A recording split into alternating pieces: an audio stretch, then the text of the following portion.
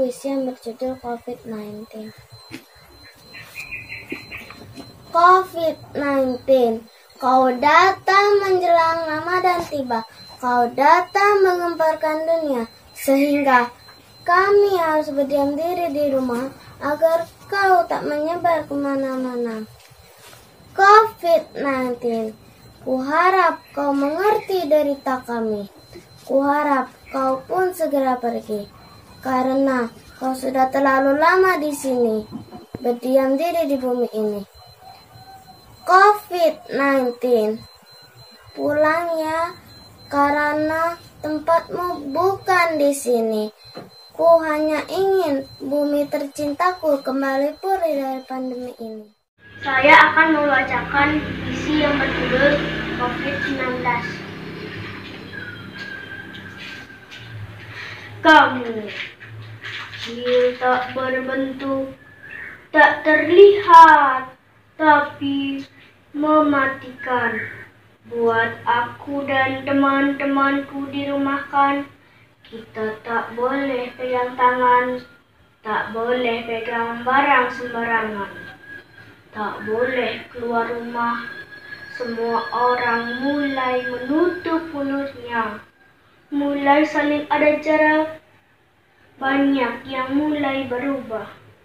Namun, Rubahnya menjadi lebih baik agar hindar dari kamu.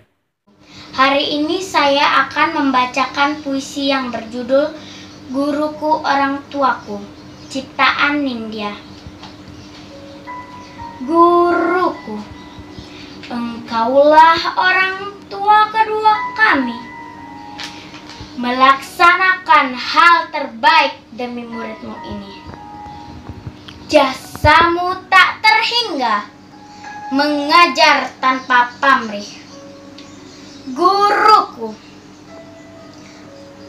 engkau selalu sabar dalam menghadapiku.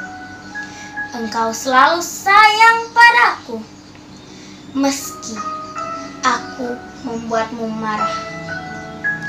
Guruku, Sabarmu tak bisa dibeli dengan emas atau uang. Sungguh besar jasamu dalam mengajar dan membimbingku.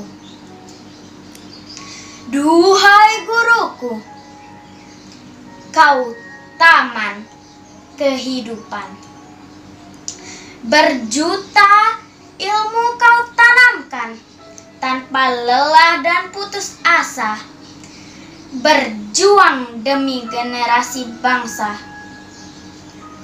Untukmu, orang tua kedua kami, sebuah ucapan terima kasih yang tak terhingga dariku.